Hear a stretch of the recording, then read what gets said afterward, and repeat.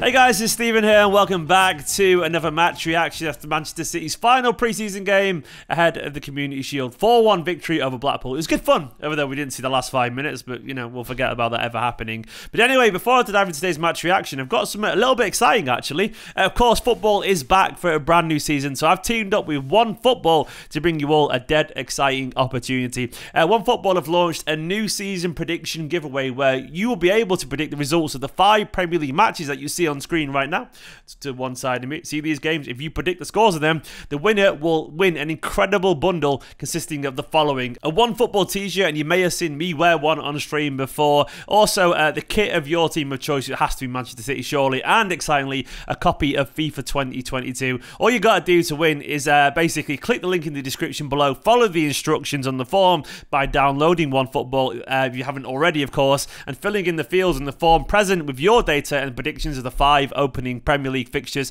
and there is more than that. Once you submit your entry, you'll be redirected to another landing page where you'll be able to predict one fixture from Serie A, Bundesliga, La Liga, and League uh, opening matches. If you participate in this global giveaway, which is not mandatory, you will be in the chance of winning a pair of match tickets, and the prize is separate to the local giveaway bundle prize. It's a lot taken there, but it's all very exciting. If you've got any doubts whatsoever, go and check out the T's and C's over on the landing page. So basically, what are you waiting for? Click the link in the description, download OneFootball, and try and win the, the big new season prediction giveaway. Go and enjoy it with OneFootball down below. But let's get on to this game. Um, it was good, man. It was good fun. Yet again, another entertaining preseason game that we saw lots and lots of lovely little stories emerge from. Of course, the headline was Mr. Gundogan, Ilkay Gundogan, Mr. Whippy back in form in front of goal, grabbing a lovely, very kind of Gundogan of last season brace, really, basically. Uh, two lovely, tidy finishes within the area uh, that a classic number nine would be very proud of. And to be honest, I thought the story of the game was largely, once again, about the first team players finding their way to fitness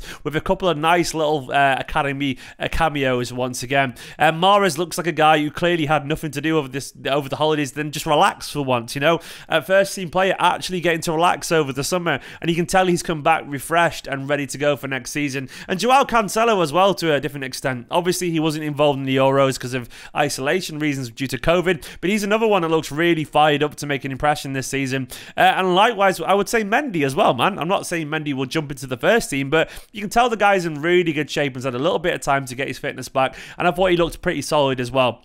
But for me, the story was all about, you know, Gundogan once again finding that rhythm and that fitness and showing how sharp he is in front of goal. And Fernandinho as well with some absolutely lovely, lovely passes, uh, showing that the guy's still got it despite being a relatively old man, so to speak. It's just not even fair that he's that good at football at that age.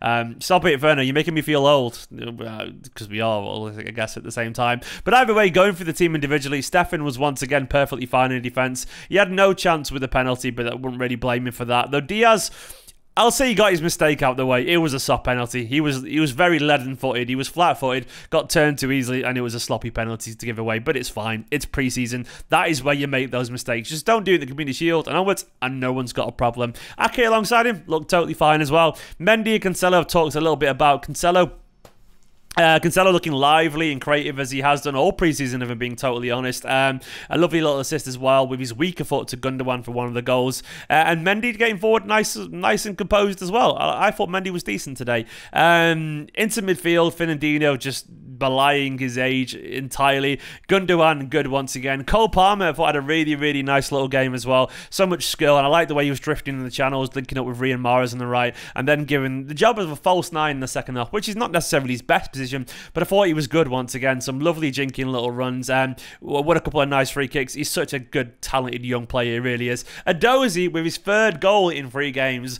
A lot of people will be watching this going, oh, is this guy, is this a star that we didn't know about? Um, Edozie's a very, very, very good player. I'm not trying to be harsh on the lad here or anything like that. I'm trying to be as measured as I can. Um, but I think it's probably fair to say that last season he wasn't the star of the EDS team in the way that Cole Palmer may have been, or Delap, or McAtee, or Romeo Lavia, or someone like that. But that doesn't mean he wasn't very good at times, and he was very, very good at times. Um, I think he's got a little bit of a way to go to get higher in the in the academy ranked pecking order, if that's if that means anything. Um, but he's still a very talented player, and uh, it wouldn't be the first time that a young player has seized an opportunity like this and made a bit of a name for himself. Because uh, sometimes football can do that. A young player that wasn't necessarily the academy star can become the star very quickly, and he's had a great preseason, just running at people, scoring goals. He's a good young player, and basically anyone who plays for City's academy side is a good footballer, capable of starring as well at professional level. Uh, obviously, this is just a friendly, but he must be very happy with his performances, and he's done himself a world of good in his City rep. A very good, very exciting young winger. I'm delighted for him as well. Ben Knight, once again, lively uh, and involved. Not as lively as involved as previous games, but definitely a decent. Um, and Mahrez,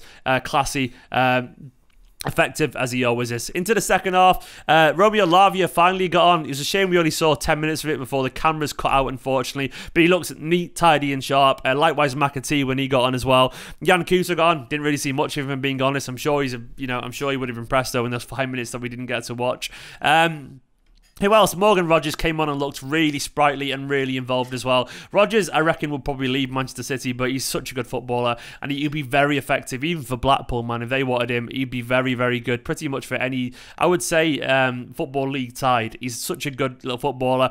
And who else did we see get on as well? Tommy Doyle. It's nice to see him back involved with the first team. They didn't get a particularly long time to impress, really, I would say, but it was good to see them. And of course, Bernardo coming on, which was lovely to see Bernardo returning. I'm still not convinced his future will be at City next season, especially if City do sign Grealish and Kane. But I absolutely love Bernardo with most of my heart. The guy, I love him to bits. He's a quality footballer, and he was nice to see him uh, lively and involved once again.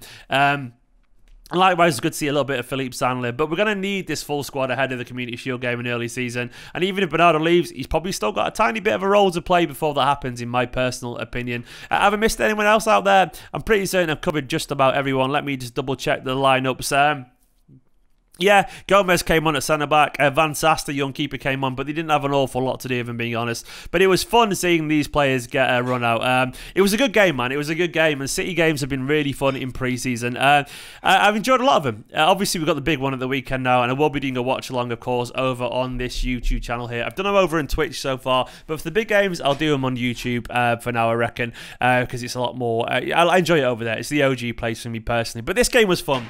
Of course, you're all here as well because you got Grealish on the brain. Jack Gaughan, of course, tweeted earlier as well, saying, "Yep." When asked, someone asked if it's going to happen, uh, yeah.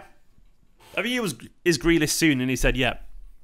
To which obviously many people wanted to know how soon, which he hasn't replied. What I will say, uh, uh, when you look around and try and find anything positive towards the Villa camp, you can find absolutely fuck all, other than some random NFL account, which is clearly a fraud account made up by someone looking for some clout to play off people's insecurities about their own club. So there's absolutely nothing at all pointing towards positive news for Aston Villa. So just do all the math, put all the pieces together, put that puzzle together, which implies one major heavy thing, and realise that currently the only thing you're scared of as a Manchester City fan is time. As if it's been weeks and weeks and weeks. It's been literally a handful of days. And you forget that obviously businesses can be slow to deal with things. I know because we've dealt with businesses personally. You have as well at some point. How many times have you forgot to get back to them via email? Aston Villa aren't just going to say yes and reply to every email straight away as Nicholas just said, think how long bank transactions can take. I don't know what it is, but in general, uh, these things can take time because it, it's two opposing parties dealing with each other that necessarily don't want to agree with each other, but they may have to. But it, it can it can take time because people can take time, is what I'm saying. So if you're wondering why it's taking time, well, it's been about two working business days. You know, uh, that, that's literally it. It's been that. So start spending time refreshing Twitter and remember that a hundred million pound transaction probably takes more than a few days to complete. Sometimes everything points points towards one conclusion currently, and it's a positive one for Manchester City. I'm not saying it's going to happen, but I'm saying right now, everything points towards one thing. There has been zero news from any reliable source whatsoever about Grealish changing his mind or signing a contract with Aston Villa, other than Fabrizio Romano suggesting that if he didn't sign for Manchester City, he would sign a contract, which is obvious. That's obvious. That to mean like if it isn't sunny, it's probably raining. I mean, that's you know, if it isn't nighttime, it's daytime.